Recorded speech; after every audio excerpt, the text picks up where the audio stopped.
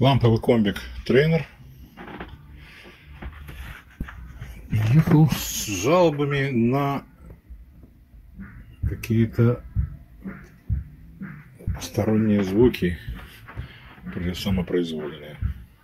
Ну, подождем. Вот что начинается через час прогрева. Была тишина.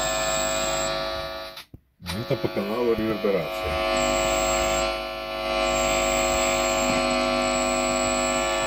Понятно. Будем разбирать.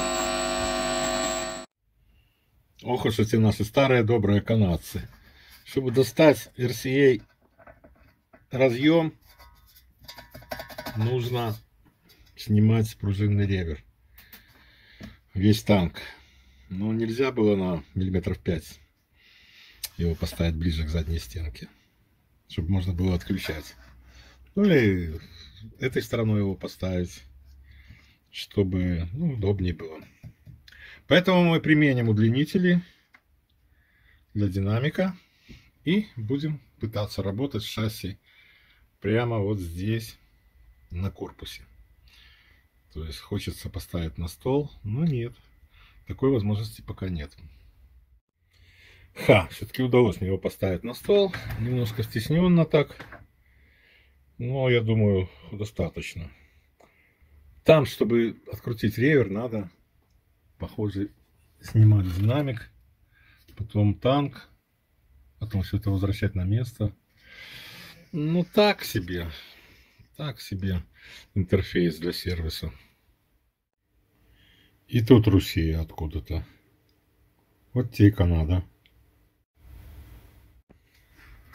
Вот такое вот решение шасси.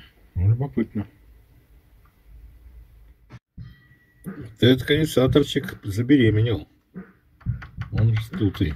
С ним надо что-то делать. Но по оконечнику пока мы вопросов не имеем. Но тем не менее, к этому придется вернуться. Сейчас я попробую так снять. Мне это хорошо видно, что он вздулся. Ну что ж, как всегда, чистка, мойка, промывка контактов. Заменим конденсатор вздувшийся, остальные вроде в порядке. Лампочки проверены. В общем-то, надо сказать, что все хорошо, кроме такой вот через одно место разборки и сборки этого аппарата. Но оно того стоило. Сейчас уже перестали выскакивать артефакты, вот он уже долго очень греется, лежит.